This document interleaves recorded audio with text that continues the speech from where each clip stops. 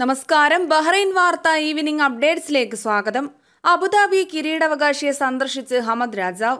U A സന്ദർശനത്തിനെത്തിയ രാജാവ് Hamad bin Isa Al Khalifa Abu Dhabi കിരീടാവകാശിയും U A സായുധ സേന assistant കമാൻഡറുമായ Sheikh Mohammed bin Zayed Al നഹിയാനുമായി കൂടിക്കാഴ്ച നടത്തി. ഹമദ് രാജാവിന്റെ താമസ സ്ഥലത്തെത്തിയാണ് അദ്ദേഹം ചർച്ച നടത്തിയത്.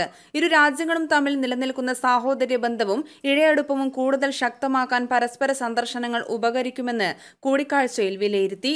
രാജ്യത്തെ കൂടുതൽ പുരോഗതിയിലേക്കും ഉയർച്ചയിലേക്കും നയിക്കാൻ ഹമദ് രാജാവിന് സാധിക്കട്ടെയെന്ന് ഷെയ്ഖ് മുഹമ്മദ് ആശംസിക്കുകയും ചെയ്തു. സന്ദർശനം പൂർത്തിയാക്കി കഴിഞ്ഞ ദിവസം ഹമദ് രാജാവ് ബഹ്റൈനിൽ തിരിച്ചെത്തി. രാജ്യത്തിന്റെ വിവിധ ഭാഗങ്ങളിൽ ബി ഡി എഫ് അഭ്യാസങ്ങൾ നടത്തുന്നു. ദേശീയ ഗാർഡുകളുടെയും ആഭ്യന്തര മന്ത്രാലയത്തിന്റെയും ഏകോപനത്തോടെ Bahrain defence force B D F തിങ്കളാഴ്ച മുതൽ രാജ്യത്തിന്റെ വിവിധ പ്രദേശങ്ങളിൽ നാഷണൽ ഷീൽഡ് രണ്ടായിരത്തി ഇരുപത്തിരണ്ട് അഭ്യാസ പരിശീലനങ്ങൾ നടത്തും. സേനയുടെ സന്നദ്ധത വർദ്ധിപ്പിക്കുന്നതിനും അവരുടെ പ്രതിരോധശേഷി വികസിപ്പിക്കുന്നതിനും മറ്റ് പ്രസക്തമായ അധികാരികളുമായുള്ള സഹകരണം വർദ്ധിപ്പിക്കുന്നതിനുമായി ബി നടപ്പിലാക്കുന്ന പരിശീലനത്തിന്റെ ഭാഗമായാണ് അഭ്യാസങ്ങൾ. മാനവിക മേഖലയിൽ ബഹ്റൈന് കൂടുതൽ പുരോഗതിയും വളർച്ചയും ആശംസിച്ച് യു എൻ. മാനവിക മേഖലയിലെ ബഹ്റൈൻ പ്രവർത്തനങ്ങളെ യു എൻ പ്രശംസിച്ചു. ലോകമെങ്ങും പ്രയാസം അനുഭവിക്കുന്നവർക്ക് റോയൽ ഹ്യൂമാനിറ്റേറിയൻ ഫൗണ്ടേഷൻ വഴി സഹായം എത്തിക്കുന്നതിൽ ബഹ്റൈൻ മുൻപന്തിയിലാണ്.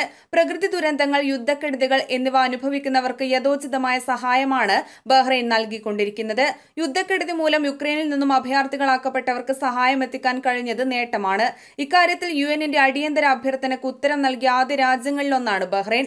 മനുഷ്യത്വത്തോടൊപ്പം എന്നും നിലകൊള്ളുന്ന ബഹ്റൈന് കൂടുതൽ പുരോഗതിയും വളർച്ചയും സാധ്യമാകട്ടെ എന്നും യു ആശംസിച്ചു. ബഹ്റൈനിൽ അടിസ്ഥാന സാധനങ്ങളുടെ സ്റ്റോക്ക് ഉണ്ടെന്ന് വാണിജ്യമന്ത്രി ലോകത്തെ നിലവിലുള്ള സംഭവ വികാസങ്ങളുടെ പശ്ചാത്തലത്തിൽ ബഹ്റൈനിൽ അടിസ്ഥാന ചരക്കുകളുടെ വിതരണം ഉറപ്പാക്കുമെന്നും രാജ്യത്തിന്റെ ആവശ്യങ്ങൾ നിറവേറ്റാൻ ആവശ്യമായ അടിസ്ഥാന സാധനങ്ങളുടെ സ്റ്റോക്ക് ഉണ്ടെന്നും വ്യവസായ വാണിജ്യ ടൂറിസം മന്ത്രി സായിദ് അൽ സയാനി ഇന്നലെ അറിയിച്ചു. റഷ്യ യുക്രൈൻ യുദ്ധത്തെ തുടർന്ന് ആഗോള വിതരണത്തെക്കുറിച്ചുള്ള ആശങ്കയിൽ ലോകത്ത് ധാന്യം സോയാബീൻ ഗോതമ്പ് എന്നിവയുടെ വില ഉയരുന്നതിനിടയിലാണ് അദ്ദേഹത്തിന്റെ പ്രസ്താവന. Bahrain COVID updates. ബഹ്റൈനിൽ ഇന്നലെ ആയിരത്തി ഒരുന്നൂറ്റി അൻപത്തിനാല് പുതിയ കോവിഡ് കേസുകളും രണ്ടായിരത്തി ഇരുന്നൂറ്റി എഴുപത്തിയെട്ട് രോഗമുക്തിയും ഒരു മരണവും രേഖപ്പെടുത്തി. ഇതോടെ രാജ്യത്താകെ മരണസംഖ്യ ആയിരത്തി നാനൂറ്റി അറുപത്തി മൂന്നായി രാജ്യത്ത് രോഗമുക്തരായവരുടെ എണ്ണം അഞ്ച് ലക്ഷത്തി ഇരുപത്തിരണ്ടായിരത്തി ഇരുന്നൂറ്റി നാൽപ്പത്തി ഒന്നായി ഉയർന്നു. നിലവിൽ പതിമൂവായിരത്തി അറുന്നൂറ്റി തൊണ്ണൂറ്റി ഒന്ന് പേരാണ് രാജ്യത്ത് കോവിഡ് നയന്റീൻ ബാധിതരായി കഴിയുന്നത്. അതിൽ മുപ്പത്തിയൊന്ന് പേർ ആശുപത്രിയിൽ ചികിത്സയിലാണ്. ഒൻപത് രോഗികളുടെ നില ഗുരുതരവുമാണ്. ബഹ്റൈനിൽ ഇതുവരെ അഞ്ച് ലക്ഷത്തി മുപ്പത്തി ഏഴായിരത്തി മുന്നൂറ്റി തൊണ്ണൂറ്റി അഞ്ച് കേസുകൾ രജിസ്റ്റർ ചെയ്തിട്ടുണ്ട്. ഇന്നലെ ഏഴായിരത്തി ഇരുന്നൂറ്റി പതിനഞ്ച് പരിശോധനകളാണ് നടത്തിയിട്ടുള്ളത്. ജി സി സി തിയേറ്റർ ഫെസ്റ്റിവലിന്റെ യോഗത്തിൽ ബഹ്റൈൻ പങ്കെടുത്തു.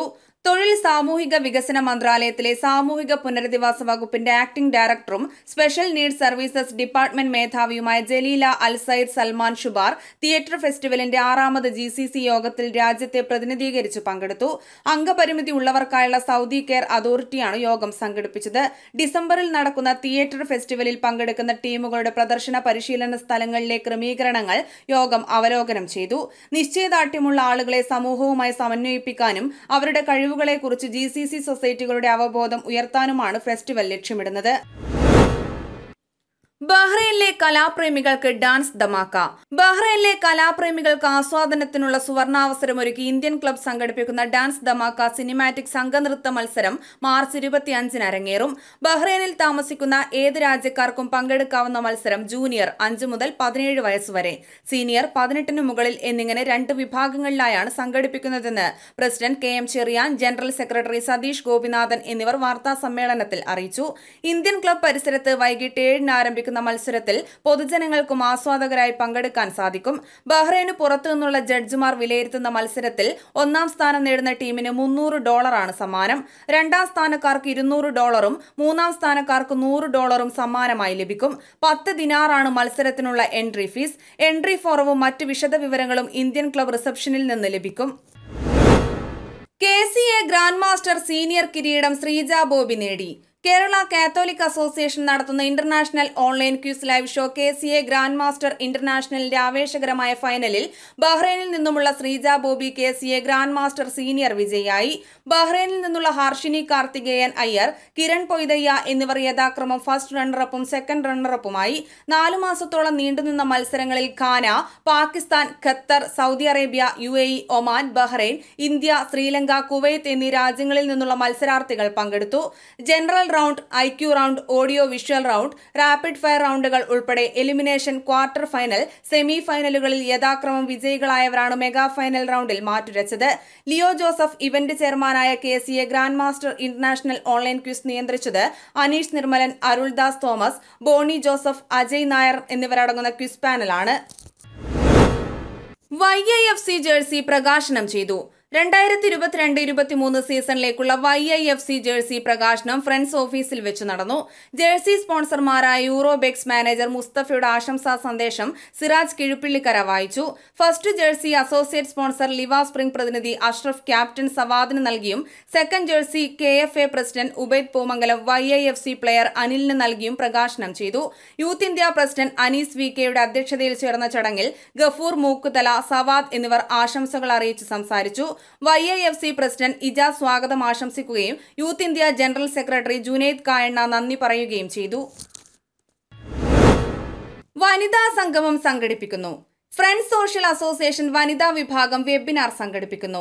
അന്താരാഷ്ട്ര വനിതാ ദിനത്തോടനുബന്ധിച്ച് ബുധൻ വൈകിട്ട് ആറ് മുപ്പതിന് സൂം പ്ലാറ്റ്ഫോം വഴിയാണ് പരിപാടി നടക്കുക. സ്ത്രീ സ്വാതന്ത്ര്യവും മൌലികാവകാശങ്ങളും എന്ന വിഷയത്തിൽ നടക്കുന്ന വനിതാ സംഗമത്തിൽ പ്രമുഖ സാമൂഹിക പ്രവർത്തകയും പ്രഭാഷകയുമായ പി വി റഹ്മാബി ടീച്ചർ മുഖ്യ പ്രഭാഷണം നടത്തും. കവിയത്രി സുൽഫി പരിപാടിയുടെ ഉദ്ഘാടനം നിർവഹിക്കും. വനിതാ വിഭാഗം പ്രസിഡന്റ് സക്കീന അബ്ബാസ് സാമൂഹിക മേഖലയിലെ വനിതാ സാന്നിധ്യമായ doctor Shemili P John Surabhi Shijina Ashiq Siji Sasidharan Haseeba Irshad തുടങ്ങിയവർ പരിപാടിയിൽ പങ്കെടുത്ത് സംസാരിക്കും. കൂടുതൽ വിവരങ്ങൾക്ക് മൂന്ന് നാല് ഒന്ന് ഒന്ന് നാല് ഒൻപത് ഏഴ് ഒന്ന് എന്ന നമ്പറിൽ ബന്ധപ്പെടാമെന്ന് പ്രോഗ്രാം കൺവീനർ അറിയിച്ചു.